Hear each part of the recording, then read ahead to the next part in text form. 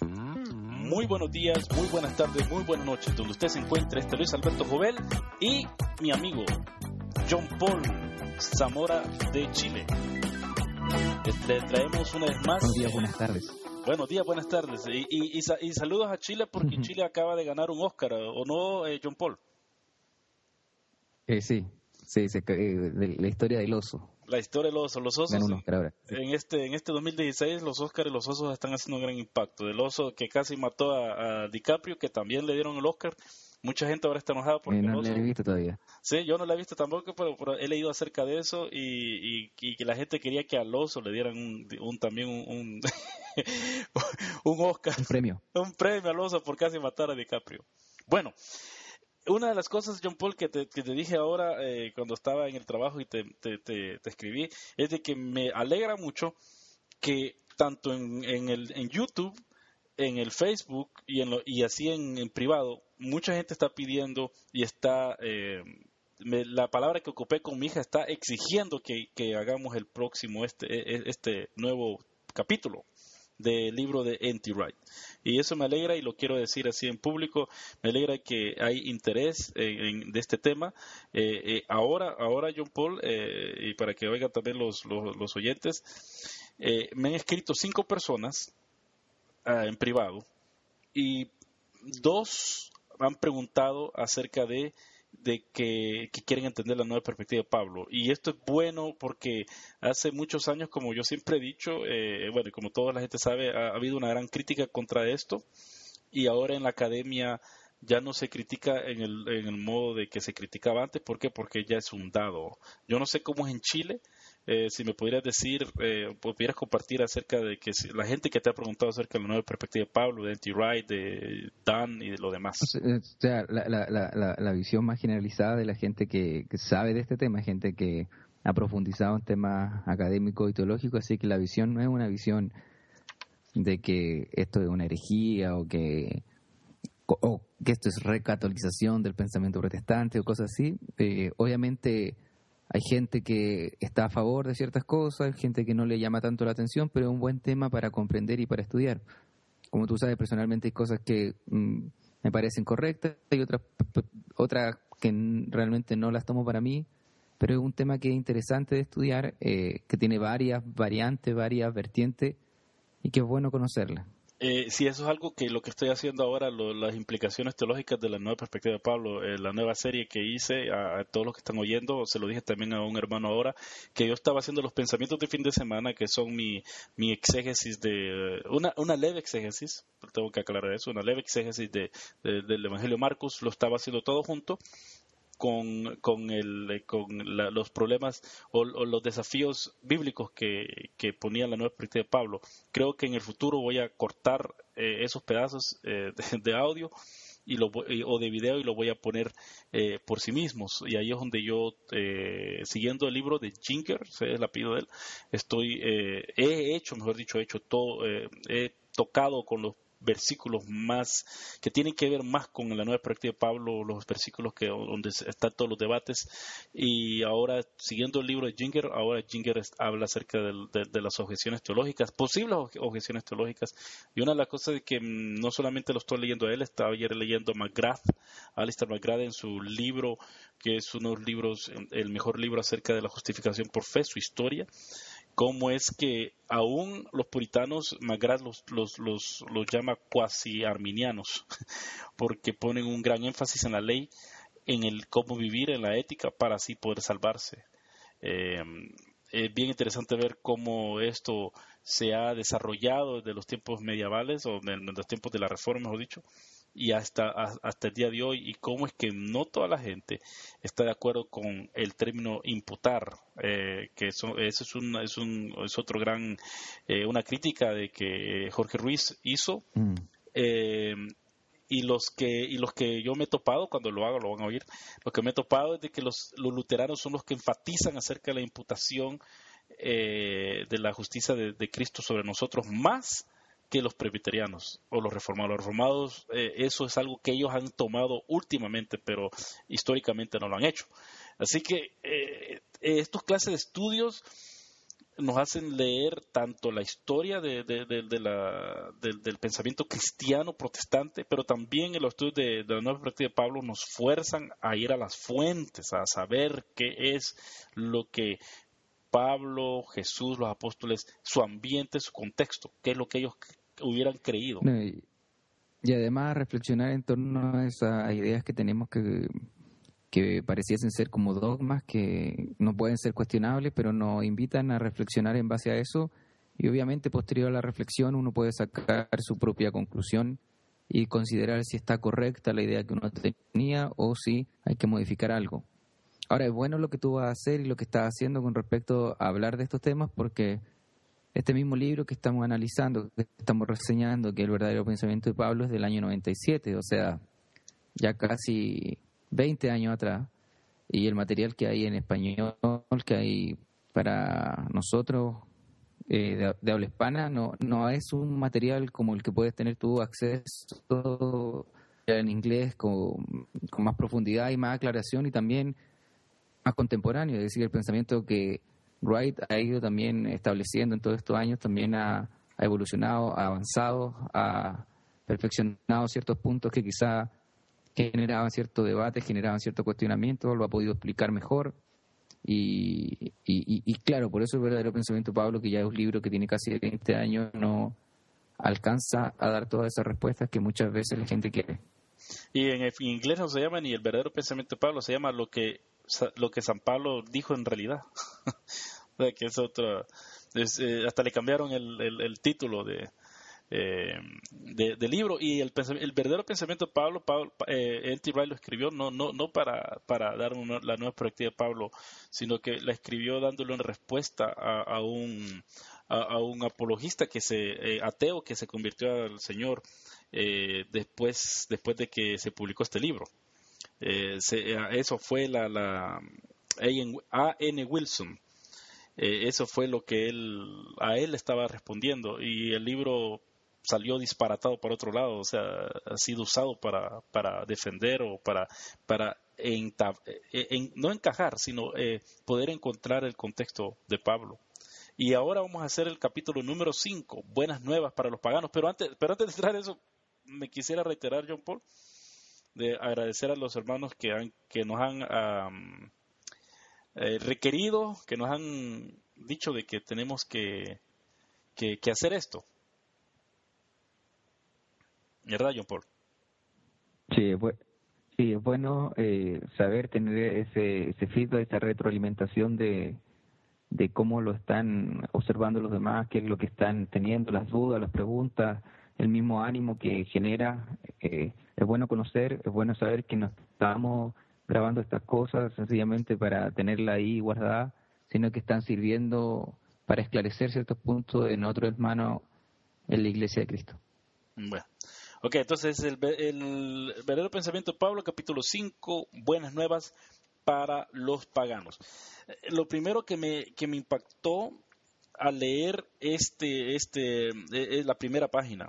Si se recuerdan cuando yo hice el primer video, la primera reseña del primer capítulo, y mostré la foto de, de Davis, mostré la foto de Sanders, eh, que, aquí él, eh, los menciona, dice, mirando los libros recientes que tengo sobre Pablo, los títulos revelan la evolución del que el debate eh, ha, experimentado durante los últimos 20 años, o sea que ya estamos hablando 40 años atrás.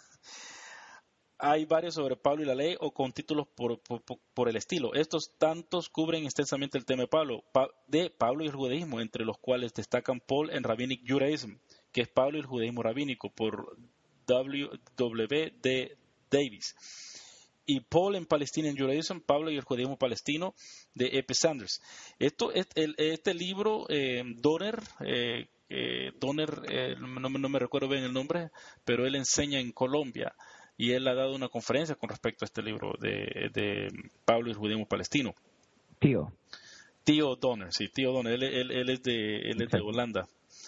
Eh, y él bueno y sigue hablando eh, eh acerca de otros de, otros cómo se llama de otros eh, eh, de otros autores y, y, aún cita a Schweitzer en su libro El misticismo el misticismo del apóstol Pablo.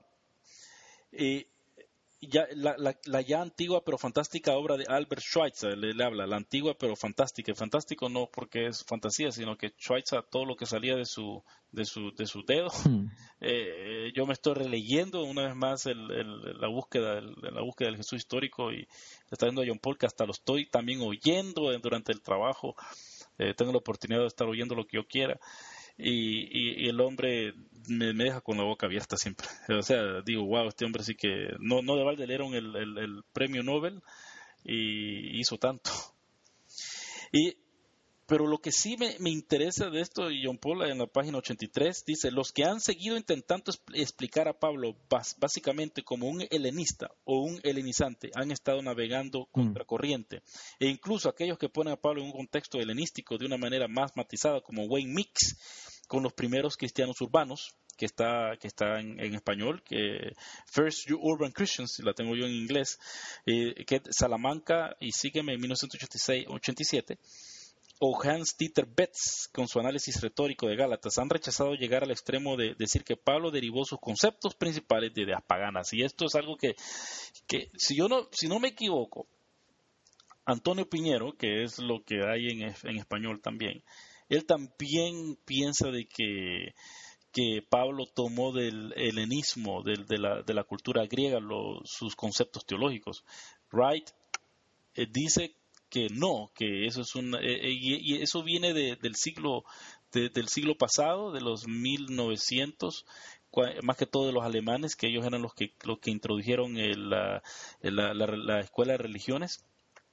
Y, eso es algo que tenemos que, tomar en cuenta de que, que hay, yo me yo sé que en el seminario bautista por ejemplo en el seminario bautista de, Chile en Santiago muchos profesores enseñan eso aún que Pablo tomó conceptos el eh, eh, griegos y los y los implementó en su en su en su proclamación, en su querigma.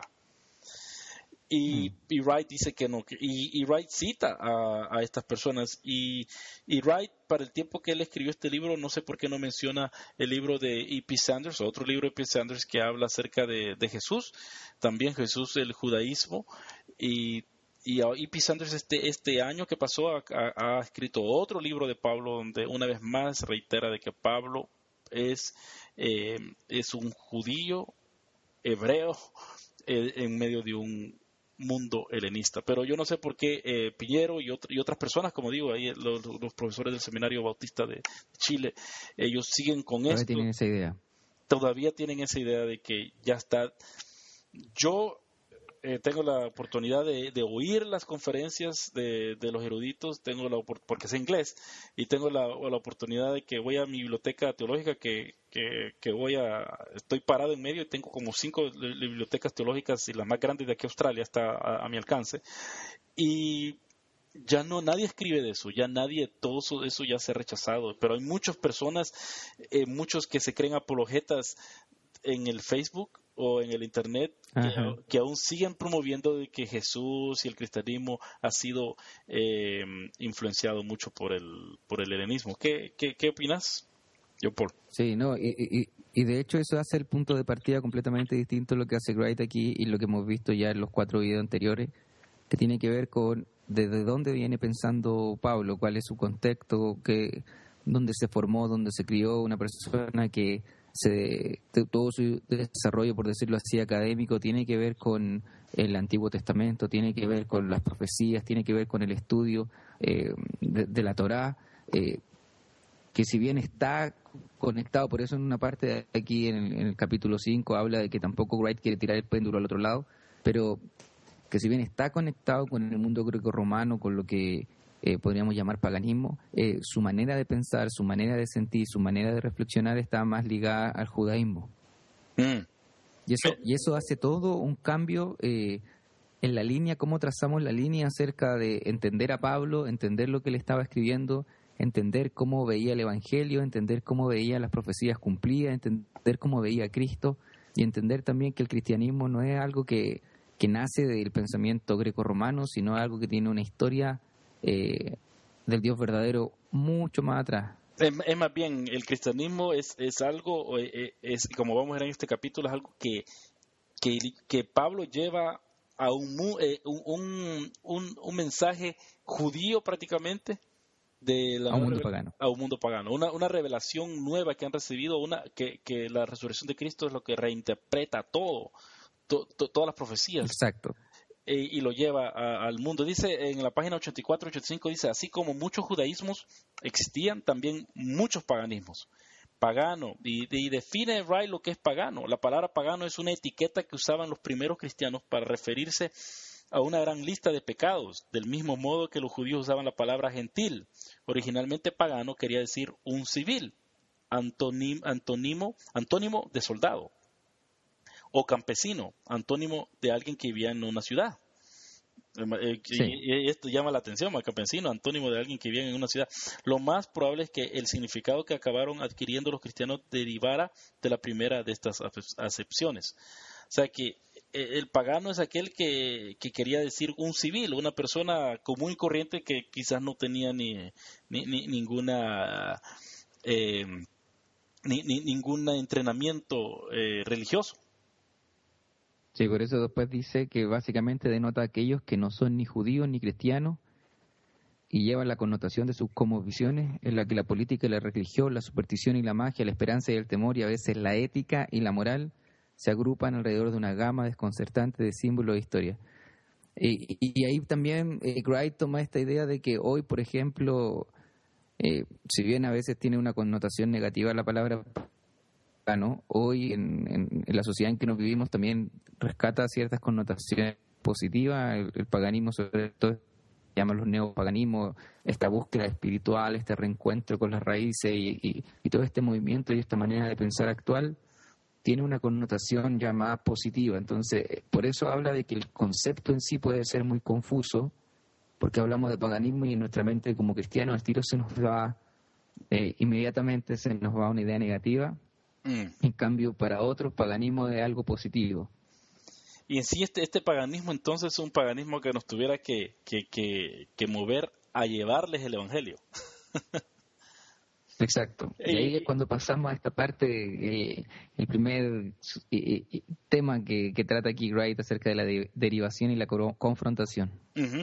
Yo me ha llamado la atención lo que dice, dice, en el estudio de Pablo es más importante establecer hacia dónde avanza su pensamiento en vez de intentar establecer de dónde viene. La dirección es más importante que la derivación. La confrontación es tan importante, sino más que el concepto. Este es el método que propongo. O sea, que él está proponiendo otro método. En vez de estar sabiendo de dónde viene el pensamiento de Pablo, tenemos que ver para dónde está yendo para entonces así entender de dónde viene. Y eso es lo que me estaba fijando. Sí, eso es lo que me estaba fijando de que los que aquellos que dicen que Pablo es helenista, ellos quieren ver de dónde viene Pablo, o sea, ellos están tratando de, encontrar de dónde viene. De dónde vienen sus ideas. Sí, de dónde vienen sus ideas, pero lo que está saliendo de su boca es totalmente contrario, porque eh, aquí tenía yo, yo, yo en Filipenses tenía abierto y donde dice Filipenses 3, donde Pablo se pone, eh, dice, escribiendo circuncidado al octavo día, del pueblo de Israel, de la tribu de Benjamín, hebreo de pura cepa, estoy leyendo de la nueva versión internacional. En cuanto a la interpretación de la ley, fariseo. En cuanto al celo perseguidor de la iglesia, en cuanto a la justicia de la ley, eh, que la ley exige, intachable. Y, y, este pasaje yo ya, ya hablé de él acerca de esto en, mis pasadas eh, objeciones bíblicas o, bíblicas, sí, de, pasajes en contra de la nueva perspectiva de Pablo. Yo ya hablé, ¿qué es lo que Pablo está hablando acerca de que él es intachable? Si fuera helenista, mm, mm, él, no pudiera estar haciendo esto. Sí. Entonces, esa es la parte interesante de la relectura, como, como lo entendemos, no de, de, dónde vienen los conceptos que usa o de dónde vienen las palabras que usa, sino qué lo, para dónde apunta con ello, qué es lo que quiere decir, qué es lo que está, eh, eh, cuál es el mensaje que está entregando al tomar ciertos conceptos, al tomar ciertas palabras, al redefinir otras cosas aquí eh, lo que él dice esto, eh, lo que él está proponiendo dice, tenía buenas noticias Pablo para aquellos que eran unas buenas, pero eran unas buenas noticias que chocaban con su cosmovisión y proponían sustituirlas por una esencialmente judía, aunque reinterpretada por Jesús. No es que les está predicando eh, un, equivalente, un Jesús equivalente a, Dionisio, al dios Dionisio. Le está predicando un, un Mesías judío. Sí, no le está poniendo otro dios dentro de su panteón, el cual es mejor, sino que, le, bueno, más adelante lo vamos a ver, sino que le está mostrando al dios verdadero, al único que existe. Mm. Entonces cambia completamente la manera de, enfrentarse a, los paganos, de enfrentarse a, este mundo greco-romano y genera esa confrontación y esa reacción polémica y esa relación polémica entre las ideas de estos dos mundos. Claro, entonces, eh, porque si hubiera llevado un, evangelio helenista, eh, hubiera sido muy fácil entonces para, para Pablo. Eh, no hubiese chocado tanto. No hubiera chocado tanto. Y, esto lo. ¿Mm? No, y que hay gente que piensa eso, hay gente que una de las cosas que pasa porque el cristianismo crece mucho en el primer siglo es porque el mundo lo aceptó porque finalmente eran ideas muy similares. Pero aquí Wright nos está mostrando de que en realidad hubo una confrontación de ideas. No fue que, por ejemplo, alguien que estuviera en el imperio dijera, ah, mira, este otro Dios es mejor, entonces me parece que, que cae dentro de las posibilidades de lo que yo pienso, sino que finalmente era un choque eh, en la manera de pensar y en la manera de comprender la vida. Y esto lo vemos en, en, en Hechos 17, cuando Pablo no está llegando a una sinagoga a predicar, sino que está en el arópago.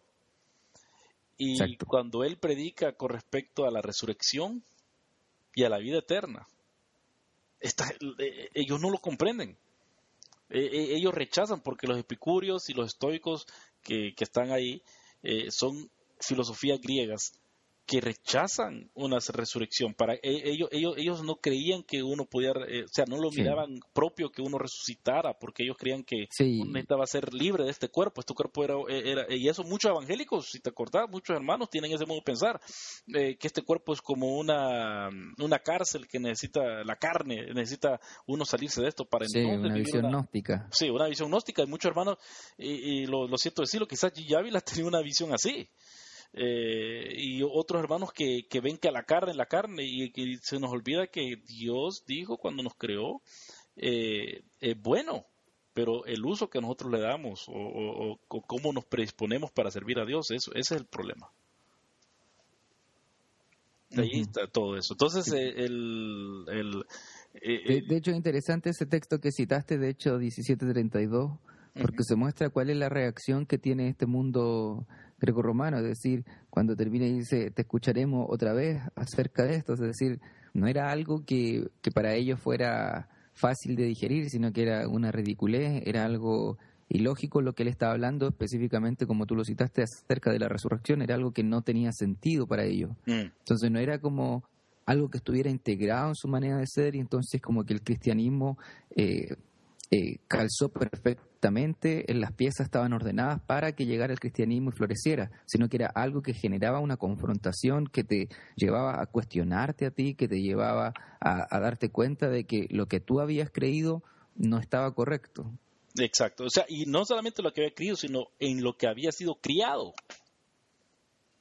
Eso era lo Exacto, la manera, la visión, su cosmovisión. Eso, esa es la palabra que quería usar. La cosmovisión de ellos era totalmente. Y venían, y a mí me gusta lo que Wright dice y lo que he leído también de parte de aún, de, de Croissant, eh, liberal, que dice que cómo es que Judea, nosotros tenemos esa tendencia ahora de, de, de, de cómo se llama de, de, entronar o decir que qué bonito era el tiempo de Jesús o qué bonito era Judea porque no era Palestina, Palestina hasta el segundo siglo, que Judea era bonito y Judea eh, eh, era, era una parte del imperio de que los romanos la miraban de menos, lo miraban pero lo peor. Estaba oyendo yo unos, unas eh, clases de un profesor de, Canadá, las, las acabo de, terminar de oír, tienen mucho de, todo tópico. con respecto al Mediterráneo, y, pero específicamente a, lo que respecta a los cristianos y judíos. Y, el hombre pone como los, eh, como los gobernadores eh, romanos eh, vende menos Judea. Y imagínate, John Paul o los oyentes, que viene, ese, así se consideraba el mundo. Acuérdate que a, los judíos se les tenía como, como que odiaban a la humanidad. porque no se juntaban con nadie, no tenían nada que ver con, con las fiestas paganas. Y estamos hablando de, del cristianismo, aquí Pablo está, estamos hablando del año 40, 50, cuando aún el cristianismo eh, se le consideraba una secta dentro del judaísmo. Entonces, se miraban, y, y, era la mayoría, eran judíos también. Eh, y, podemos ver cómo es de que, de que vienen de la gente como ve a, Judea y, a, y a, los, a los judíos o aquellos que están asociados con los judíos y vienen a decir, no, nosotros traemos el Dios, el único y verdadero Dios poderoso, creador de los cielos y la tierra. Para eso era, para ellos era, era un insulto. Y de hecho, por ejemplo, es interesante para las personas que están escuchando leer el, discurso de Pablo ahí en Hechos 17, porque tiene que ver eh, con esto que hemos hablado, de cómo toma un concepto, pero no necesariamente eh, es importante ver de dónde lo rescata. Por ejemplo, al Dios no conocido.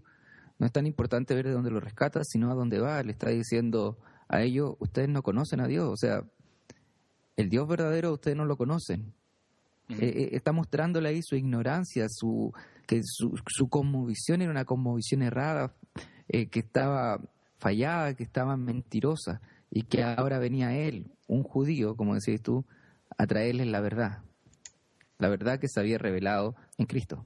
Eso, y eso, eso, eso, eso yo creo que era, era bien difícil para ellos eh, eh, eh, tomarse eso, porque ellos miraban al judaísmo y claro a los cristianos, a los cristianos también como personas no, eh, no preparadas, eh, ignorantes, porque recordemos que al principio aún Pablo dice en 1 Corintios, no hay entre ustedes no hay, no, no hay, no hay sabios, no hay, no, no hay adinerados, sino que lo, lo, lo, lo mm, que el mundo más desprecia, eso es lo que Dios ha escogido y, eso era, y eso era un problema sociológico que estaba pasando el cristianismo. Y por eso cuando los hermanos eh, en Corintios, eh, si que habla en capítulo 7, que muchos no lo entendemos, pero está hablando acerca de que, que si alguien es que si alguien es, es, es una mujer en particular, pero también abusaban ante niños los, los, los jefes de la casa, que si querían tener relaciones con, con, con la mujer.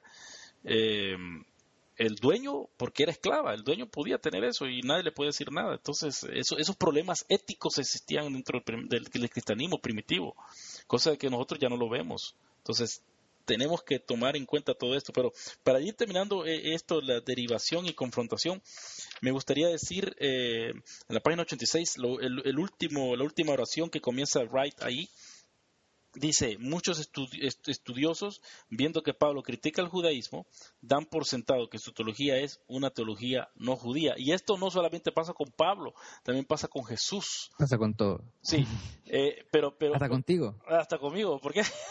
y eso no te lo entendí.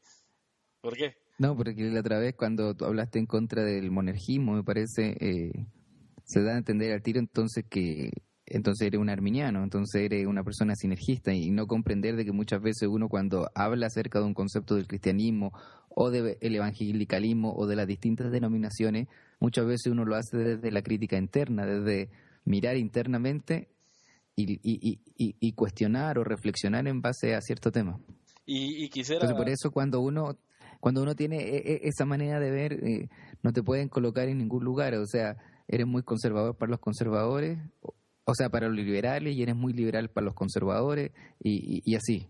Claro, y, eh, algo que voy a hablar eh, una vez más, dándole más em, propaganda a lo que voy a hacer con estos estudios de objeciones teológicas acerca de la nueva perspectiva de Pablo, voy a hablar acerca de eso, el monarquismo, más adelante. Si, si siempre los reformados han sido monarquistas o si han sido alguna vez sinergistas. Em, y voy a dar versículos donde Pablo... Eh, Coming soon donde Pablo es el que, ¿cómo se llama? Eh, parece apelar. Ese es el problema, creo yo, de muchos hermanos, eh, de que apelan a ciertos versículos, pero se olvidan que hay otros versículos que quizás pueden eh, no contradecir su posición, pero sí le pueden dar otro, otro vistazo a lo que están diciendo. Así que no tenemos que ver que Pablo, al, criticar al judaísmo de su tiempo, está en contra de, la, de, la, de las doctrinas judías. Eh, Pablo no está en contra de que Dios es un solo Dios. Pablo no está en contra de la resurrección. o, que se, o que se pasó al helenismo. Sí, o que se pasó al helenismo. Eso, eso, eso lo, lo, viera Pablo como, como, una traición prácticamente. Y recordemos que muchos judíos se hacían una, una operación para, para, que, eh, para, para hacer de vuelta como que si no se habían circuncidado. Pablo no era uno de esos. Pablo dice que él fue circuncidado, él afirma que fue circuncidado. O sea, que eh, decir de que Pablo era helenista no tiene nada que ver. Y, y, sigue, y sigue Wright, dice, otros viendo que su teología era en general judía, no saben cómo explicar la crítica que hace del judaísmo. Lo que estás diciendo vos, que lo que me pasa a mí, que hay unos que, que, no saben si soy liberal o si soy conservador, si soy reformado o soy arminiano, simplemente para a mí, como defensa, veo más que su teología de las personas que hacen eso no está bien, no, no está bien cimentada y por lo tanto llegan a esas conclusiones. Lo que el método de la historia de las religiones, y este método de la historia de las religiones es Religion Geschichte, Geschichteliche Schule, que, es un, que fue un movimiento en los, en los 1800 eh, eh, que empezó en la Universidad de Göttingen, en la que dice de que, que todas las religiones tienen paralelos y eso, digamos, ah, yo, yo he debatido y, discutido con Rafael Osorio, que fue evangélico, leyó un libro de que está basado con respecto a la historia de la, Escuela de la Historia de Religiones, y él dejó el cristianismo porque él vio paralelos por todos lados. Eh, paralelos en el egipcio, paralelos en, el, en, en, la, en, la, en, la, mm, en las religiones greco-romanas, y por lo tanto el cristianismo no es nada original. Eh, esto ya ha sido desechado también. Esto ha sido desechado junto con, lo que estamos diciendo de que, de que Pablo era helenista. esto también ha sido desechado no por los no, no, no, solamente por los eruditos evangélicos, sino también por los eruditos seculares. Ya esto ya no mm. se aplica. Pero hay muchas personas que siguen eh, empecinadas en esta forma de pensar. Yo creo que, que, como dijiste, en español quizás se, se va 20 años atrasados, pero parece, parece que algunos llevan más de 20 años, parece que algunos ya tienen hasta medio siglo o más. Mm. Bueno, aquí pasemos a la relación polémica entonces, John Paul. Eh, ¿Algo que vos quisieras decir? No, esto era más o menos lo que estaba diciendo delante con respecto a Hechos 17. Wright utiliza, de hecho, el discurso en el aerópago para mostrar esta confrontación de pensamiento que generaba esta, esto, esto polémico. Es lo que explicaba un poquitito en delante acerca de la verdad está en Dios. Entonces, él no estaba rechazando todo su antecedente eh, del Antiguo Testamento, de la Torá, sino que estaba resaltando aquella idea y la estaba mostrando a este mundo que tenía múltiples dioses, decirle, mira, hay un Dios verdadero, hay un solo Dios verdadero. Y era un poco lo que te decía yo en delante con Hechos 17, cuando eh, hablan del Dios no conocido, bueno, le dice, bueno, ese Dios no conocido, el que ustedes ignoran, es el Dios verdadero que, te, estoy predicando, es el Dios verdadero que, te estoy anunciando, el que se ha revelado por medio de Jesucristo. Mm. Y a mí me gusta lo que dice en relación polémica en la página 87, donde dice, no transmite, me, me gusta esto, no transmite su mensaje a gritos para que atraviese la gran división cultural eh, independientemente de lo que pensemos de la historicidad del discurso en el Arópago, Hechos 17, esto significa el principio que Pablo mismo enuncia en 2 Corintios 10.5, el de poniendo todo pensamiento en cautiverio a la obediencia de Cristo. Y en 1 Corintios 9.22 lo que Pablo está hablando es lo siguiente, entre los débiles me hice débil a fin de ganar a los débiles, me hice todo para todos a fin de salvar a algunos por todos los medios posibles. O sea que eh, lleva un mensaje y lo trata de hacer accesible a las personas que lo llevan. Sí, no tenía problema en tomar eh, ideas o tomar frases o tomar cosas de la cultura pagana eh, para hacer más digerible el mensaje a ellos. No tenía ese problema de, tomar a la cultura. Por eso le digo, en Hechos 17 también se ve eso cuando cita a, estos personajes eh, que no son personajes cristianos, que no son personas que judías, sino que eran de su propio mundo greco-romano, para apuntar hacia, hacia la verdad que había sido revelada en Cristo. Aquí hay una frase que, dice el libro que dice que se cercioraba de que aquella idea fuera bautizada completamente antes de aceptarla en la familia. Es decir, usaba las cosas en función del mensaje principal, en función de la cruz, en función de la resurrección, en función de Cristo, pero no tenía temor a usarlo para que el mensaje fuese un mensaje cercano y que las personas pudiesen entenderla. Mm. Y a mí me gusta lo que dice aquí, la oposición a las obras de la antigua historia de las religiones viene normalmente de los estudiosos conservadores, porque, y tienen razón, decían que el sincretismo no era uno de los fallos que Pablo pudiera cometer, porque Pablo no era sincretista. Y eso es algo lo que también quisiera comentar, de que hay muchos en Internet, eh, porque en Internet es donde uno, se, donde uno, donde uno polula, donde uno se, se, ven mal las, eh, las opiniones, de que algunos yo me dan la percepción de que si no es un erudito liberal contra el cristianismo, eh, si uno no es uno de ellos, entonces uno tiene que callarse y no puede aportar nada. ¿Por qué? Porque uno tiene un interés ya de por medio de querer justificar o querer defender la fe cristiana.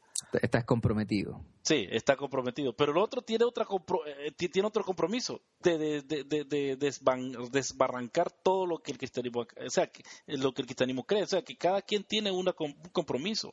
Parte de un presupuesto. Sí, ya, ya sus propias sus preposiciones presuposiciones. Cada quien trae su presuposición, yo creo que eso hay, que, hay que aceptarlo, hay que, hay, que, hay que reconocerlo y no simplemente desechar, eh, porque hay, hay, uno, hay un joven allí en internet que siempre me dice, bueno, sí, pero tal persona dice tal cosa, sí, pero yo le digo, pero tal, eh, otra persona dice tal cosa. Y, y aquí, como está hablando de Wright, dijo de que cierta persona, eh, dijo Elba, de este, este, este, este joven, dijo, ah, de Wright yo no le creo nada, es, es una persona cambiante y, se tuerce cuando y se tuerce cuando se le confronta y, y, eso lo dice alguien que no ha estudiado a fondo teología o exégesis o no sabe la metodología. Entonces, yo, yo mi respuesta fue esta, ah, qué bueno, va, eso lo decís vos que no has estudiado pero la persona con la que era Crossan, la persona con la que vos estás diciendo de que, de que le gana Wright, reconoce lo que vos estás rechazando, lo que dice Wright.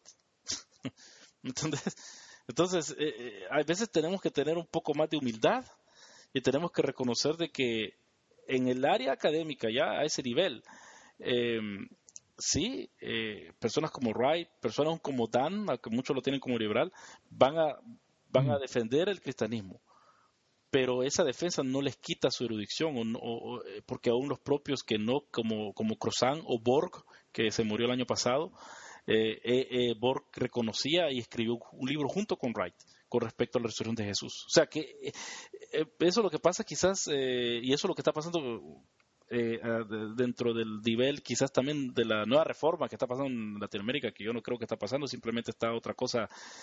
Para, para mí simplemente es lo mismo que pasó hace 20 años con, con, la, con la música que vino de vuelta y algo que puse yo ahora de LIM, cuando yo era muchacho, que fue parte de LIM, que yo veo el, eh, la, misma actitud que tuve yo cuando tenía 13, 14, 15, 16, 17, 18, 19 años, la veo en, los, en, en, en la nueva reforma, o que quizás tengo una buena doctrina, pero el mismo eh, la misma actitud de, prepotencia y de que yo sé todo.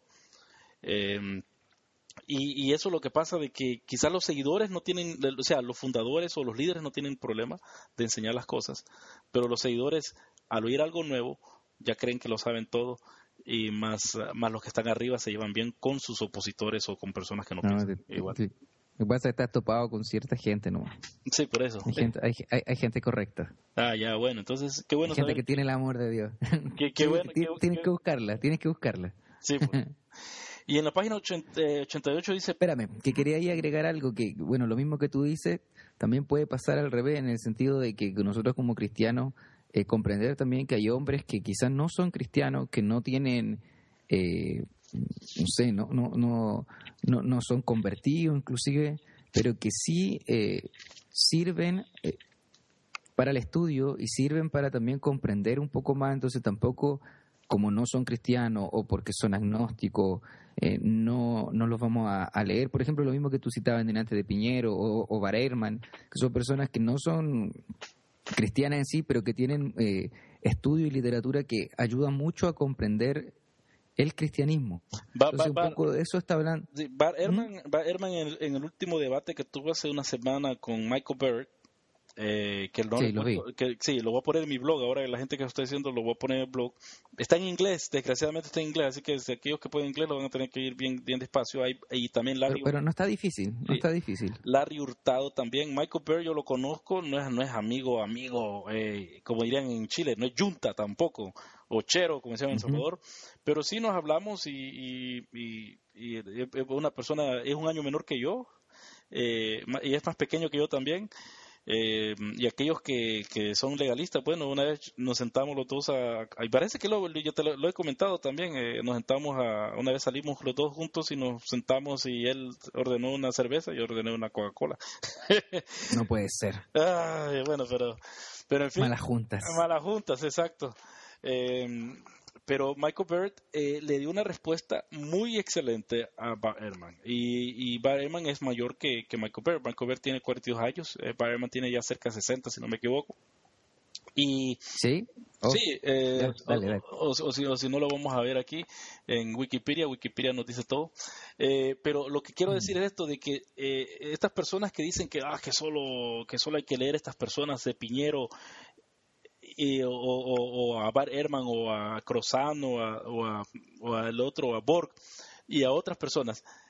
Estas personas están interactuando con personas con las que estos estas personas, eh, estos autores están interactuando con, con, con, las personas que estos hermanos o hermanas han desechado. Están interactuando en conferencias, en libros, en lo que sea. Entonces, yo no veo, mm. yo, yo no veo la, el, la, autoridad, la autoridad moral de desechar a alguien porque has leído a X persona. Si esa persona que has leído toma en cuenta lo que el otro dice. Y el, y el debate estuvo, estuvo bueno. Ahí está Larry, Hurtado también habló. Eh, dio una gran, ¿cómo se llama?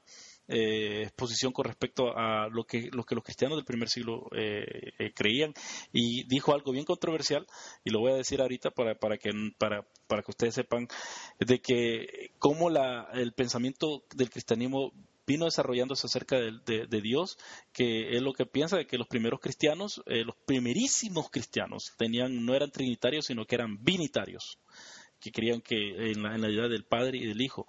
Y después en, el pensar cristiano, según Pablo también iba escribiendo y también vemos en las cartas, ellos iban entendiendo cómo reinterpretar, y eso es lo que me gusta, que el Hurtado no sé si lo dijo, pero lo dicen siempre, cómo reinterpretar a Dios despegando de la resurrección de Jesús. No, no creamos que los cristianos entendieron todo de una sola vez. Y eso es, eh, como que si Jesús murió, se fue para arriba, eh, y, ya, ah, ya sabemos toda la Biblia, ya, ya, ya entendimos exactamente el plan que Jesús dijo, ya entendemos todo. No, Pablo, aún vemos que en Pablo mm. eh, dice que él va a ser, que, que, Pablo va a ser, eh, en Corintios dice que él va, que va a ser arrebatado, y después vemos en Timoteo, para los que creemos que Timoteo son escritos de Pablo, originales de él, vemos en Timoteo que él, él está diciendo, ya voy a morir, he seguido la buena batalla, la, he corrido la carrera. O sea que él entendió de que el Señor no iba a venir tan pronto después, ¿verdad? Pero nos dejó la doctrina que el Señor viene. Entonces, todo eso, e, e, eso ya es un... Yo creo que aún este libro es, es una introducción al pensamiento paulino, pero para, para muchos en Latinoamérica fue muy fuerte cuando la gente lo leyó. Eh, no sé, no sé qué pensás acerca de eso, John Paul. Eh, sí, no, no, lo que mi punto te quería, antes de volver al, punto inicial, es que, por ejemplo, cuando uno lee Marco, uno se da cuenta de que los discípulos como que no entendían muy bien lo que estaba sucediendo. O sea, si hay una relectura de la obra y del ministerio de Cristo, es a la luz de la resurrección, sin duda. O sea, la resurrección vemos que cambia eh, la mentalidad de, de Pablo y ve que la mayoría de las promesas y las y, todas las cosas se cumplen en Cristo a la luz de la resurrección. O sea, tampoco hay que...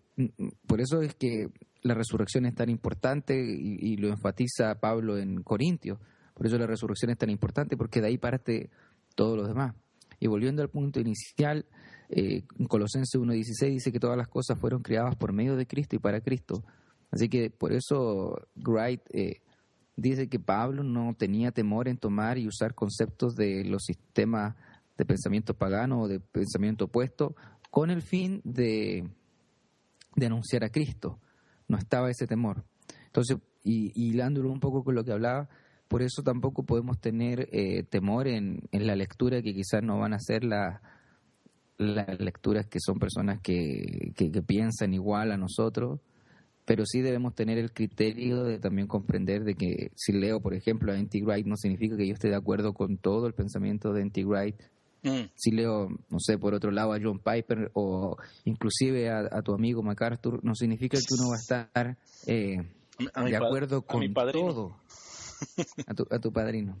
Que uno va a estar de acuerdo con todas las cosas, pero uno tiene que tener la capacidad de poder ir reflexionando y relacionando esto, porque finalmente esas personas que están escribiendo son hombres que pueden ser útiles dentro de la cristiandad, porque son personas que son guiadas por el Espíritu Santo. Fuera de la cristiandad podemos asignárselo a la gracia común, como Dios obra a través de ellos también, pero sobre todo comprender que son medios para que podamos comprender aún más la verdad de Dios revelada en Cristo y a través de la Escritura. Y, para, para, terminar, eh, Herman sí tiene 60 años, nació en el 55. Se ve más joven.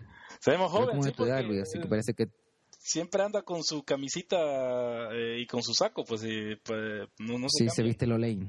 Sí, pues se viste bien hipster. Eh, el, en la página, falta, Sí, no, fíjate, yo estoy pensando vestirme de la forma, pero a mi esposa no le gusta, que quiere que, me cambie.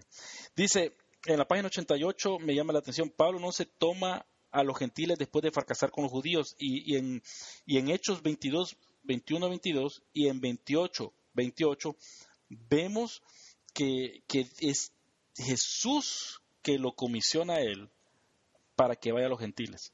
No fue el plan B de Pablo. Ah, no, no, no, no, me vieron ustedes, entonces me voy para los gentiles. Él lo dice también, va, de que por rechazo, pero, pero más que todo en Hechos 22, 21, 22, vemos que es eh, Jesús mismo el que lo, el que lo lleva. Y me, llama la atención también lo que dice al final de la, de la página 88, dice, el Dios de Israel había llamado a Israel para salvar al mundo. Ese había sido el propósito inicial de la elección.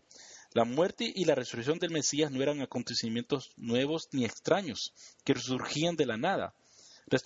retrospectivamente tenían que ser vistos como piedra de albardilla del plan divino, que siempre había consistido en el éxodo real, no solo de Israel, sino del mundo entero. O sea que el éxodo y, el, Isaías del, del 40 al final no solamente habla de la restauración de Israel, está hablando de una restauración de toda la creación. Por medio de Israel. Por medio de Israel. Y, así como Pablo lo entiende, por eso para él no fue un, gran dilema, y además, como decías tú, que fue el mandato del Señor Jesucristo en su llamado, eh, el predicar el Evangelio a, los gentiles, como si hubieron otros que tuvieron más conflicto con respecto a eso, porque Pablo entendía y veía de que el mensaje de Dios y el plan de Dios era finalmente eh, un mensaje universal, un mensaje a todo, donde Israel como nación escogida tenía una parte fundamental y obviamente a la luz de Cristo como el verdadero representante ahora de Israel, el verdadero israelita, eh, se unían estos dos mundos. Y, esto lo que, lo que acabas de decir, eso suena a la teología del reemplazo. Eso es lo que crea muchos problemas, muchos hermanos, que ¿cómo usted está reemplazando a...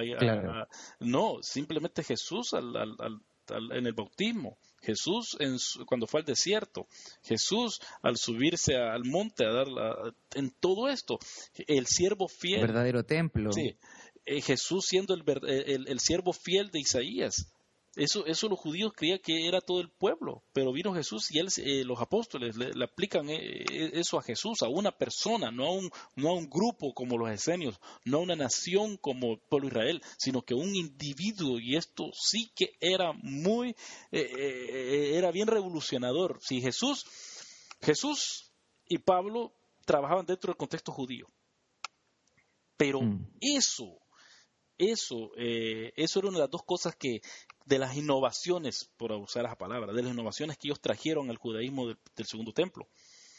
Tanto que Jesús dice de que Él tiene su Padre y el único que, podía decir eso era el Hijo de Dios, que era el Rey o la nación de Israel.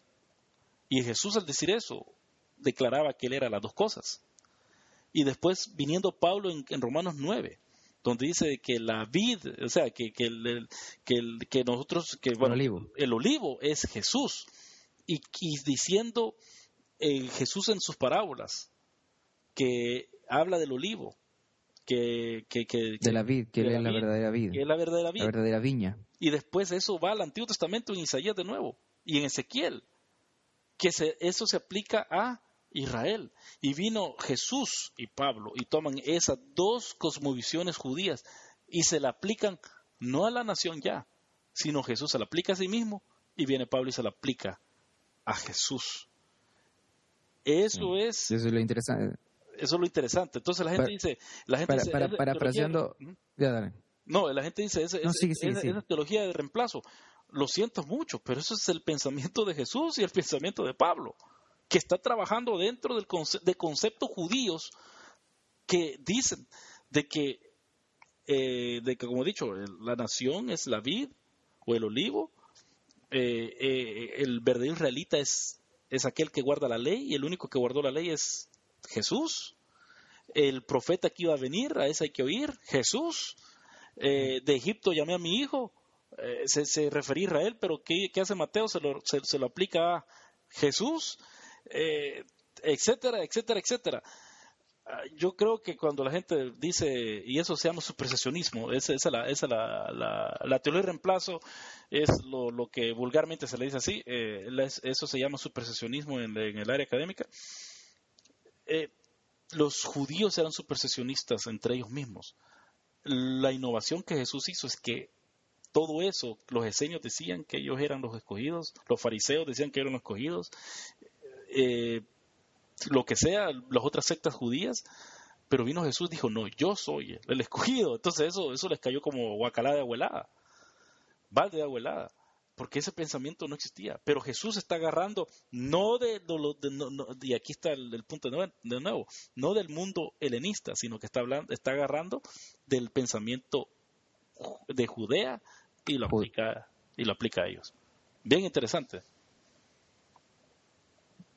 Exacto.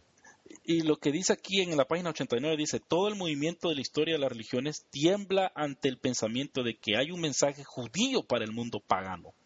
Sin embargo, y por razones bien comprensibles, esto es lo que Pablo ofrece. O sea que Pablo no está ofreciendo un sincretismo, eh, así como Adonis resucitó, también va a resucitar, eh, eh, también va a resucitar Jesús. No, eh, Pablo está, eh, este, está proclamando de que este es el Mesías judío, esto es lo que ustedes necesitan para ser salvos.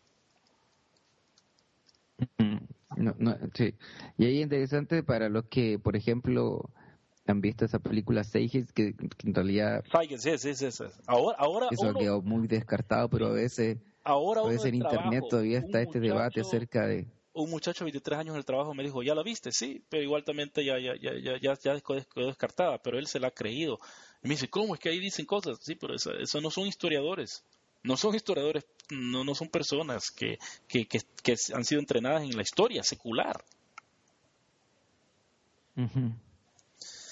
Bueno, vamos a la página 90, entonces, eh, dice... Eh, dice en la página 90, Pablo vio como Moisés... crítica eterna. Sí, la crítica interna, como Pablo critica internamente al, al, judaísmo y como acaba, como dijiste anteriormente, es lo, que, lo mismo que hago yo criticando al protestantismo de adentro. No que lo quiero destruir, simplemente yo, eh, eh, yo tengo pensamientos que quizás no van con los demás.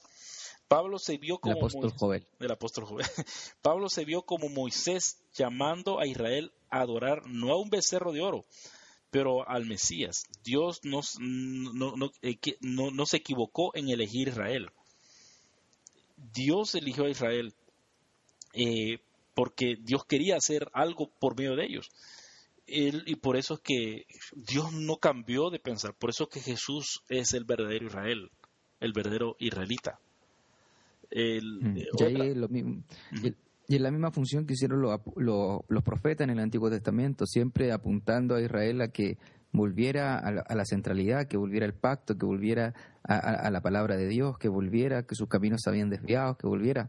Eh, y por eso Pablo también eh, se toma un poco de estas frases como las de Jeremías y, de los profetas del Antiguo Testamento en, en su labor, es decir, está haciendo crítica interna, está hablando como lo hacían los profetas está hablando como lo hacían los hombres que te hacían un llamado a, volver a la senda correcta delante de Dios. No está haciendo una crítica separándose de, los judíos, sino llamando a los judíos al arrepentimiento, llamándolos a que vuelvan, llamándolos eh, al plan de Dios, que en este caso, a la luz de la resurrección y a la luz de, Jesucristo, era Jesús mismo, el, camino que Dios había trazado eh, para la salvación y para sus promesas.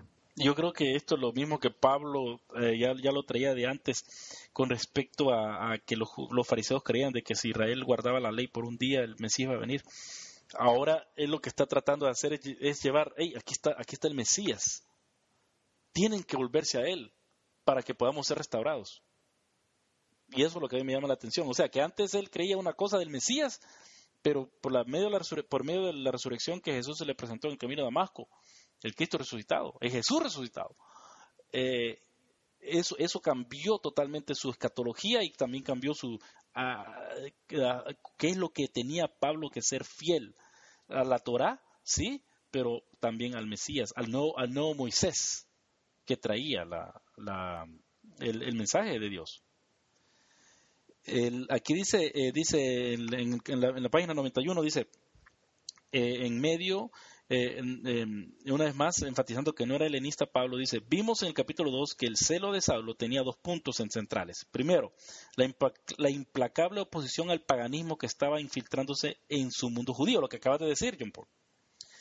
Segundo, la celosa insistencia en que se observara la Torá, que le llevó a practicar la violencia contra aquellos que no lo hacían a rajatabla. Esa es esa expresión que nunca, que nunca he oído yo. nunca he oído esa expresión rajatabla, pero en fin, em, mm. e, es, es, es, importante ver de que una vez más eh, en este en este capítulo Wright hace enfatiza y enfatiza una vez más que esto no era algo de que de que em, de que era un sincretismo de parte de Pablo, sino que Pablo está en contra total del helenismo. Eh, no tiene nada que no quiere tener nada que ver con el helenismo. Bueno, y ahorita para terminar ya, porque ya nos llevamos, llevamos casi la hora, eh, tenemos que ver seis áreas de crítica de parte de Pablo al mundo pagano, porque no solamente criticaba a los judíos, sino que también hay críticas, eh, en la página 92 comenzamos, de que Pablo está tratando de, traer al mundo pagano que vean que lo que ellos están creyendo está errado. Y aquí vamos, vamos rápido. Y, esto es más cortito. Primero. Sí, el primer punto es, dale. Dios y creación. En primer lugar, Pablo ofrecía la realidad del Dios verdadero y la creación como la obra de sus manos. ¿Por qué esto es importante, John Paul?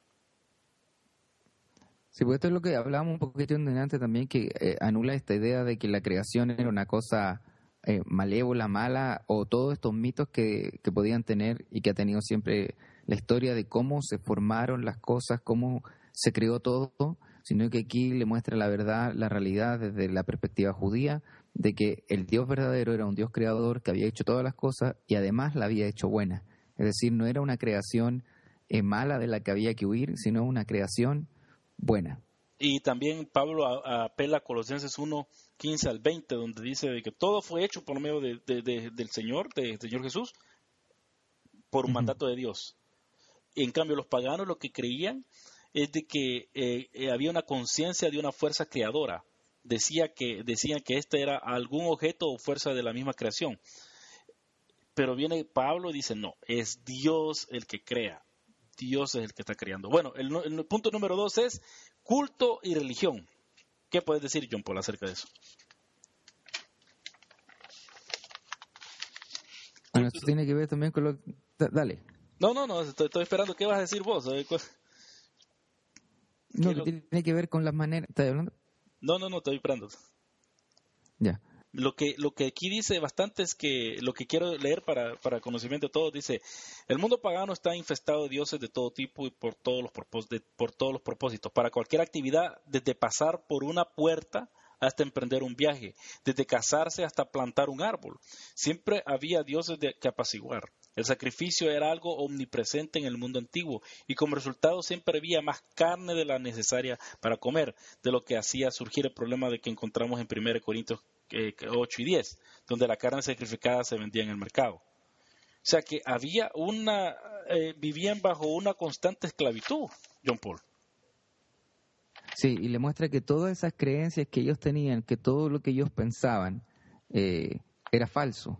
Es decir, todo lo que ellos estaban haciendo, todo el sacrificio, todos los caminos que estaban emprendiendo, todas las señales que pretendían hacer, los ritos y todo lo que tenía que ver, era falso. Y que la verdadera religión, por decirlo de algún modo, era ahora la que se revelaba en Cristo.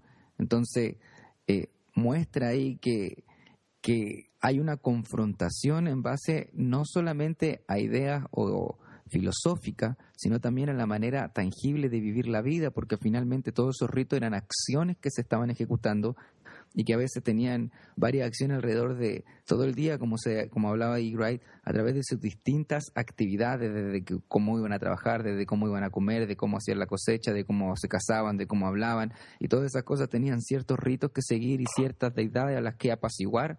Ahora Pablo está mostrando que eso era falso, que todo eso que están viviendo ellos es una mentira y que la verdadera religión es la religión que Dios ha revelado por medio de Cristo, que viene de este judaísmo. Y entonces eso tenía todo un choque y una confrontación al mundo pagano.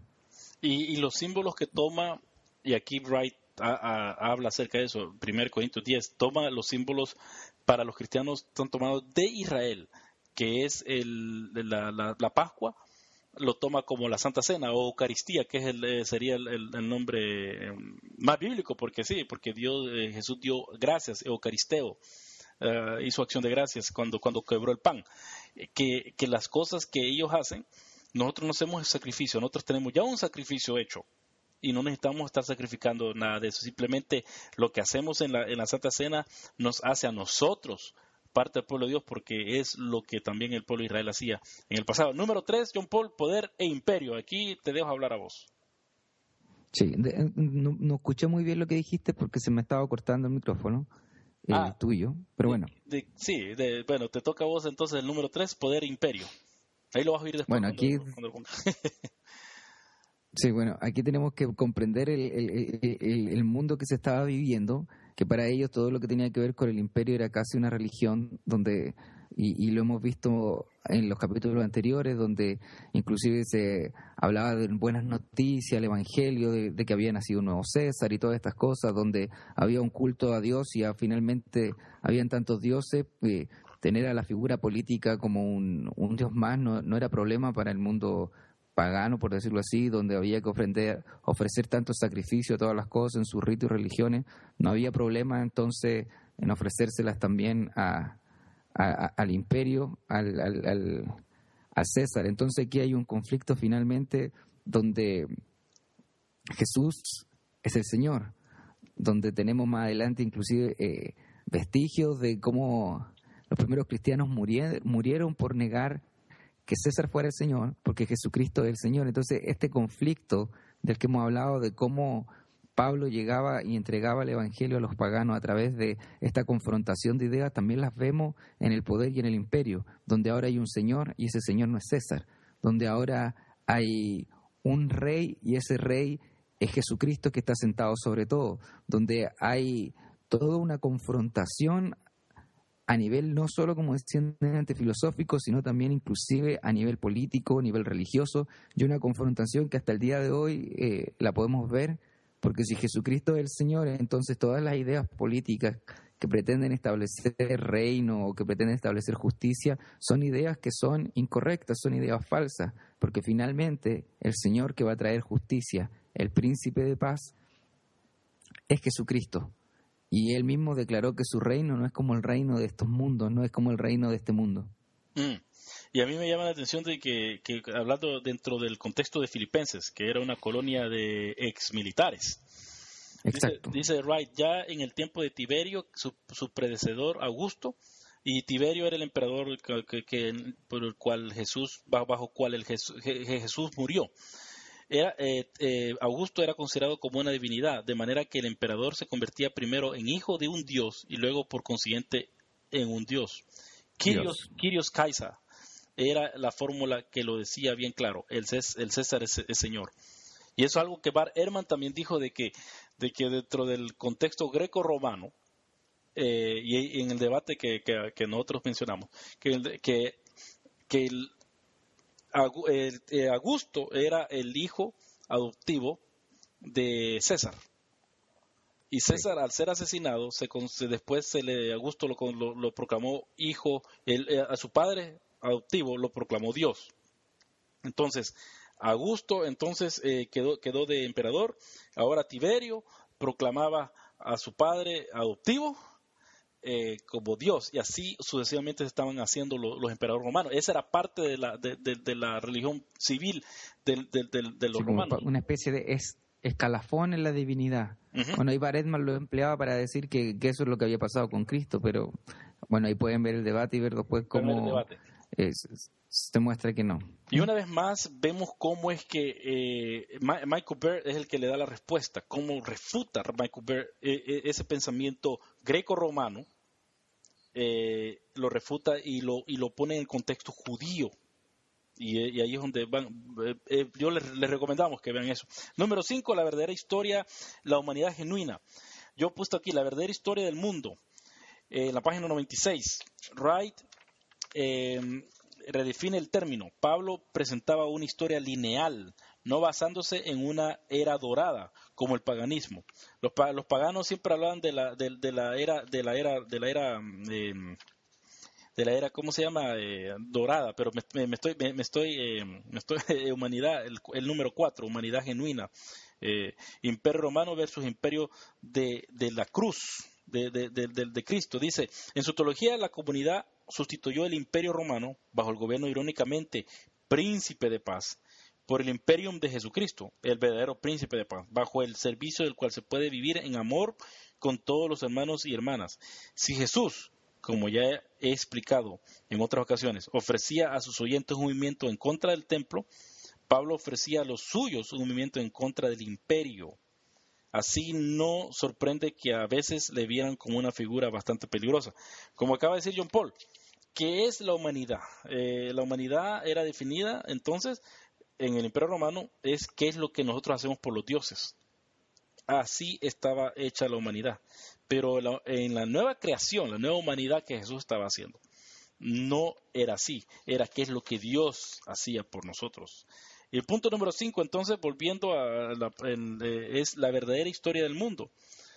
Dice, en quinto lugar, Pablo contaba la verdadera historia del mundo y la mitología pagana no. Y quiero leer esto, John Paul. Dice, dice, la historia cristiana funciona como mito, en el sentido de que la historia contada contada por la comunidad para explicar y sostener su forma de vida. Y mito es una cosa, es, una palabra bien, bien eh, bien peligrosa. Aquí la palabra mito viene siendo como cosmovisión, ¿verdad? Sí.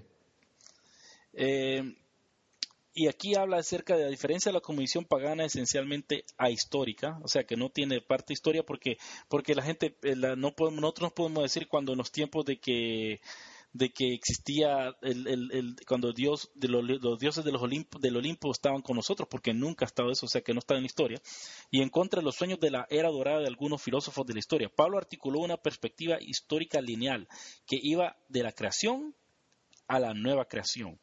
Y yo, eh, y yo, yo aquí he subrayado mucho, pero ¿tenés algo que decir, John Paul? que aquí también, eh, aquí lo que Pablo está haciendo es poner también en énfasis nos saltamos una parte donde hablaba de las distintas cosmovisiones eh, que había en el imperio, pero que hace el énfasis aquí de que Dios sí es un Dios que interviene en la historia, un Dios que creó, un Dios que escogió, un Dios que está restaurando y un Dios que tiene como, por decirlo así, un mapa donde inicia, donde está el desarrollo y donde hay un, un final y un término que, que va a ser así. Como pasó antes, la creación y como Dios ha intervenido en el pasado de la historia, como está interviniendo en ese momento en la historia de Pablo, también intervendrá y desarrollará todo su plan hasta el final. Y lo que me gusta es esto de que, y aquí lo he subrayado, porque en nuestras iglesias últimamente se están predicando principios, Principio de esto para que usted tenga buena, un matrimonio. Principio de esto para que tenga un buen trabajo. Principio de esto para que tenga, etcétera. Y, me, y, eso se hace la predicación y me gusta lo que, lo que Wright dice en el último párrafo de la, de la página 96. Dice, esto se ve bastante claro que si consideramos el querigma básico, o sea, el querigma es la palabra, la predicación, está, usando la, la, palabra en griego. El querigma básico de Pablo, proclamación o anuncio, en 1 Corintios 15, 3, 8, y aquellos que lo ven, eh, les invito a que lo lean, pensando que ya es hora de recordar a la congregación corintia el tono en el que les anunciaba el Evangelio y desarrollarlo un poco más, se centra en los acontecimientos principales. Cristo murió por nuestros pecados, según las Escrituras, fue enterrado, resucitó al tercer día, según las Escrituras, y fue visto por Cefa, Jacobo y por otras 500 personas. Y por último, Pablo mismo también lo vio. Le vio. Ya debería estar claro que el Evangelio que Pablo llevaba a los paganos no era una filosofía de vida. Tampoco era una doctrina sobre cómo alcanzar la salvación y esto es lo que oigo muchas veces con respecto a, muchos hermanos, la crítica interna, reformados, sino que era una lista de hechos y no hechos ininteligibles, ya que tal cosa no existe, sino una lista de hechos enmarcados en un contexto que les confiere significado y trascendencia. O sea, ¿qué es lo que estamos oyendo? ¿Cuál es la predicación que estamos oyendo en nuestras iglesias? ¿Estamos oyendo simplemente consejos para hacer mejor X cosa? ¿O estamos, se nos está diciendo que estos, esto ha pasado, estos acontecimientos históricos han pasado, por lo tanto, tienes que cambiar tu vida? Si Jesús ha resucitado, algo ha pasado que ha, que, ha, que ha conmovido el, el cosmos y no puedes seguir viviendo así. Sí. Eh, en vez de estarle, eh, yo creo que eso sería el punto de partida, en vez de decirle te vas a ir al infierno. porque es cierto, pero ¿por qué te vas al infierno? Porque estás viendo el pecado, sí, pero también porque ha pasado algo dentro del cosmos. Jesús vino, murió y resucitó. Y eso cambió ya todo el juego. Y eso es algo que yo quisiera que los hermanos oyeran. Y por último, ¿qué es lo que dice todo esto? Esto implica un triple éxodo. Israel es redimido en la persona de Jesús para el beneficio de todo el mundo. La raza humana es redimida a través de Jesús para que, se para que sea restaurada la, imagen de Dios.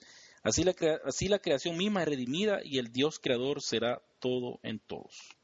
Y por último, filosofía y metafísica. Y aquí es donde está lo que, lo que estaba diciendo eh, John Paul, los diferentes, las diferentes eh, cosmovisiones que habían. Y yo no sé, eh, ¿podría vos comentar sobre ellas?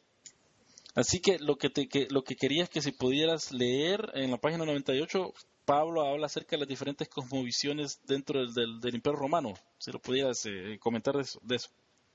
Ya, eh, habla y dice, en su famoso libro de la naturaleza de los dioses, Cicerón enumera, enumera las tres filosofías principales del mundo greco-romano del primer siglo. Uno podía optar el estoicismo, ser monoteísta o panteísta, y creer que todo lo que existe es divino o tiene forma en parte de la divinidad.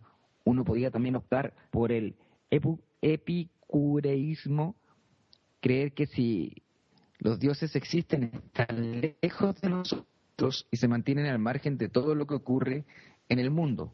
O uno podría ser como Cicerón, un academicista y adoptar un punto de vista escéptico, concluyendo que de hecho tampoco podemos llegar a saber mucho sobre estos temas, así que probablemente lo mejor es mantener las viejas costumbres paganas, los sacrificios, las adivinaciones, etcétera, y esperar de alguna manera que la sociedad vaya funcionando. Entonces tenemos tres maneras de cómo visiones que se podían optar. El, el estoicismo, por un lado, por el otro lado tenemos los epicúreos, y por otro lado la visión que de Cicerón, que es una visión más academicista. La primera, Luis, era más ser monista o panteísta, es decir, que, que todo lo que existe en este mundo tiene que ver con un poco la divinidad. Y eso no está alejado de lo que hoy vemos. Hay mucha gente que el día de hoy es panteísta, eh, que la naturaleza es una natura, eh, es, divina, que la creación es divina, que los dioses están en una piedra en una piedra, en un árbol, en el viento, eh, en las energías que, que, arrojan estos elementos. Entonces no es algo que esté lejano a, nuestra vida, quizás los epicúreos eh, la idea de lo epicurio es la, idea que es más cercana ahora. Eh, sí, sí, es probable que Dios exista, pero si llega a existir es un Dios bien lejano, es un Dios que se mantiene al margen de lo que ocurre en este mundo, es, un, Dios que no, tiene relación. Es un Dios bien lejano, por lo tanto podemos hacer es hacer, porque eh, los epicúreos estaban, eran dados a los placeres. En cambio, los estoicos eran, eran más eh, ascetas, no, no, no, eran dados los placeres. Y a mí me interesa que aquí en, Melbourne, aquí en mi ciudad, hay un diario que se llama The Age y los, todos los martes tiene eh, un, un, una sección que se llama Epicurio, Epicure, que ahí da todo, ahí, ahí, ahí, en esa sección se dan todos los festivales que van a estar durante la semana y los buenos restaurantes que uno puede ir para gozar que hay de está, todo. Está bueno. está bueno. Eh, ese error ahí. Sí. Así que sí. Bueno, pero finalmente el mensaje de Pablo era un mensaje que chocaba con estos ideales, chocaba con toda esta manera de, entender el mundo. Obviamente no era un Dios como el de los epicúreos, porque finalmente Dios sí actuaba en la historia humana. Exacto. No era un Dios como el de los estoicos que estaba en todas las cosas, sino que era un Dios creador de todas las cosas, que estaba aparte de todo y que se había revelado a través de Jesucristo. era un Dios trascendental. Esa es la palabra. exacto. Que, trascendía a todo. Trascendía a todo. No que ah, este árbol es parte de Dios, por eso no lo puedo cortar. No. Dios tras, eh, lo creó, que es otra cosa. Pero no quiere decir. Y, tampoco era como lo que. La idea de, Cicerón. Eh, eh, de que realmente no podíamos llegar a conocer, porque finalmente Pablo está predicando de que sí lo podíamos llegar a conocer y es más, este Dios trascendente que había creado todas las cosas, que actuaba en la historia, se había dado a conocer por medio de Jesucristo, eh, el Mesías que había sido crucificado y resucitado. Mm, y eso es, importante, importante eh, hablar de esto. Y, y, Wright al final de esta sección hace, nos vuelve a, a llamar la atención a Hechos 17, 22 al 31, de que Pablo eh, al menos eh, confrontó dos, dos de estas, de estas tres como visiones, los epicúreos y los estoicos, y, los dos rechazaron su mensaje. O sea que, ya para terminar, Wright una vez más enfatiza de que, de que eh, Pablo no era helenista en su, en su mensaje. Pablo iba en, iba en contra y los propios helenistas, los que representaban la élite helenista, rechazaron o no o no quisieron tomar más no no le quisieron hacer eh, más caso es más si, si nos vamos a, a, a Hechos 17 lo que dicen de Pablo es bien despectivo dice eh, dice 16, 17, 16, dice, mientras Pablo los esperaba en Atenas, le dolió en el alma ver que la ciudad estaba llena de ídolos, así que discutía en la sinagoga con los judíos y con los griegos que adoraban a Dios y a diario hablaba en la plaza con los que se encontraban por ahí. Algunos filósofos epicúreos y estoicos entablaron conversación con él. Unos decían, ¿qué querrá decir este charlatán? otros comentaban, parece que es predicador de dioses extranjeros. Decían esto porque Pablo les anunciaba las buenas nuevas eh, las buenas nuevas de Jesús y de la resurrección. Y, esto en griego es bien tremendo porque dice, Jesús eh, cae eh, Anastasia. Y Anastasia saben que es un nombre de mujer, ¿va? Entonces Jesús y Anastasia, estos creían que están hablando de un Dios y su esposa. Eso es lo que ellos entendían. Y, es totalmente fuera de lugar de la gente lo que está diciendo de que Jesús, de que, de que Pablo estaba predicando dentro de, con una cosmovisión helenista. John Paul. Sí, exacto. Y, para concluir aquí es interesante también cómo el, Evangelio es un mensaje que tiene respuesta para la gente de la sociedad actual. Y no solamente desde un prisma, por decirlo así, de judío, que, quizás el Evangelio funciona mucho cuando uno le habla y, usted se del cielo, tiene su lugar, hay gente que tú le puedes hablar y partir, iniciar de esa pregunta, ¿usted quiere irse al cielo? ¿Sabe cómo irse al cielo? Pero mucha de la gente partiría diciendo, bueno, no creo en el cielo. Y nos damos cuenta de que Pablo también se enfrentaba a esas personas, no estaba hablando sencillamente con judíos que creían en, la, en, en, en el Dios creador, querían justificarse, que querían tener ciertos conceptos que los vamos a ver en el próximo capítulo, sino que estaba hablando a un mundo pagano donde las ideas eran completamente distintas, donde parecía que el lenguaje entre estas dos eh, visiones chocaban. Al igual que el día de hoy, el cristianismo choca con las visiones que, que hoy las sociedades eh, tienen, que hoy las sociedades piensan, y entonces debemos comprender que el mensaje del Evangelio es un mensaje actual, que obviamente es un mensaje que va a confrontar eh, al pensamiento humano, pero es un mensaje actual inclusive para aquellos que te dicen, sabes que no creo en Dios, eh, me da lo mismo los diez mandamientos, me da lo mismo eh, la iglesia, me da lo mismo todo esto, porque es un mensaje que, trasciende a eso. Mucha gente que en su conciencia tiene la idea de buscar la justicia, y tú le puedes decir, bueno, el rey de justicia este. Bueno, Dios para mí Dios está lejos, te dirá alguna gente, ¿y qué se va a preocupar Dios de nosotros? Bueno, Dios sí se preocupa, porque Dios hizo esto y esto y esto. Entonces, de esa manera podemos abordar el Evangelio a gente que quizá es más compleja. Exacto. Y quisiera solo eh, enumerar las dos cosas que dice Wright al final y, ya, dar la, y, dar la introducción al, nuevo tema que vamos a hablar la próxima vez, que esta vez no nos, tomamos mucho tiempo. Eh, la próxima vez solo vamos a hablar acerca del, del judaísmo. Eh, pero sí, eh, dice, eh, en la conclusión, primero dice, Wright dice, en primer lugar, que el Dios de Israel estaba en contra del paganismo. Eso ya lo dejamos bien claro. Eso creo que lo, Pero una cosa que a mí me gustó que John Paul hizo bastante énfasis es también que en segundo lugar, el, igual que Saulo de Tarso, el apóstol Pablo creía que el Dios de Israel también estaba en conflicto con los israelitas que eran desleales. Eh, Pablo perseguía a la iglesia porque eran judíos que él creía que estaban apostatando la fe, no saliéndose del judaísmo, sino proclamando que había un Mesías, del cual Pablo no creía. Eso es lo que tenemos que ver, que, que Pablo no está, no, no, está persiguiendo a, a la iglesia porque es la iglesia. No, Pablo está persiguiendo a judíos que están proclamando de que Jesús es el Mesías. O sea, e, e, era, aún para él era un problema interno aún. Pero, pero así, así como, eh, pero bueno, eso, Dios está en, en, contra de Israel, porque contra el paganismo, eh, que Dios, el Dios de Israel, eh, Pablo está en, el Dios, que porque, Pablo está igual que Saulo, que creía que el Dios de Israel también estaba en conflicto con los israelitas que eran desleales. Y eso es lo que él creía antes. Y después ahora está en contra. ¿Por qué? Porque ahora no guardan, no siguen al Mesías verdadero. Em, este gran acto le hacía ver al mundo pagano que estaba equivocado y que ya era hora de arrodillarse ante el Dios verdadero, pero lo hacía de tal modo que obligaba a los judíos a ser igual de humildes que los paganos ante la revelación de la gracia de Dios. Y esto más que todo en Romanos 2, Pablo habla acerca de eso, de que tanto el judío como el gentil como el griego tienen que venir al Mesías. Y por último, Ahora, dice Wright, ahora que el gran acto ya había tenido lugar, hablando de la resurrección, lo que decía quien pertenecía, lo que decía quien pertenecía al verdadero pueblo de Dios era simplemente la fe.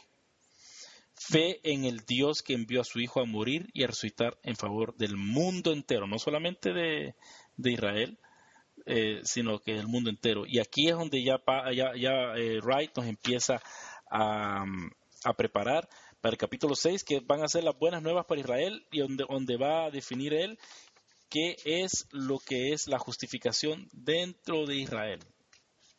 John Paul, ¿quisieras decir algo? Dios. Sí, quisieras decir algo acerca de eso. Mm, que va a estar interesante ese capítulo porque de ahí después deriva el, una de las cosas más conflictivas que tiene el pensamiento de Nick Wright, que tiene que ver con la justificación y cómo él aplica luego la justificación y qué es lo que ha generado tanta polémica en, los círculos más, académicos con respecto a esto. Sobre todo en los círculos más protestantes, como decías tú al inicio, con la justificación imputada y todo eso, y que también tiene que ver con lo que no me cuaja completamente a mí. ¿Qué es lo que no te cuaja?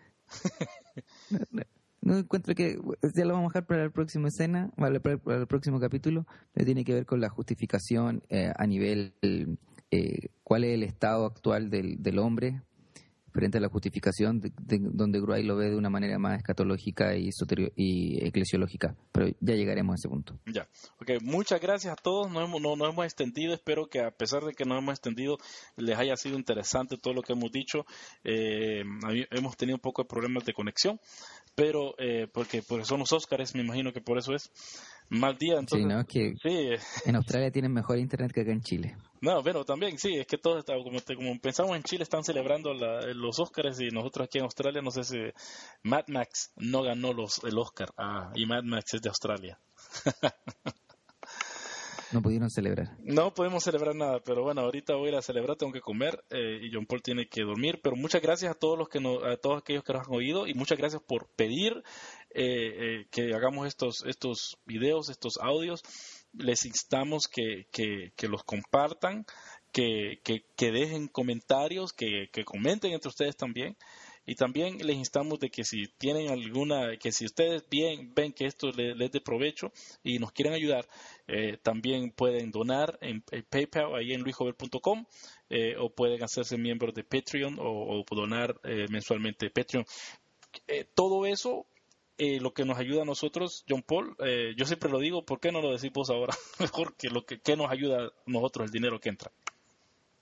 Nos puede ayudar a muchas cosas, nos puede ayudar a lo que tiene que ver con el sitio web, la mantención en sí misma, ayuda a comprar material para poder seguir estudiando, eh, a ir a charlas, ir a diferentes cursos para poder seguir aprendiendo y poder compartir con ustedes todas estas cosas.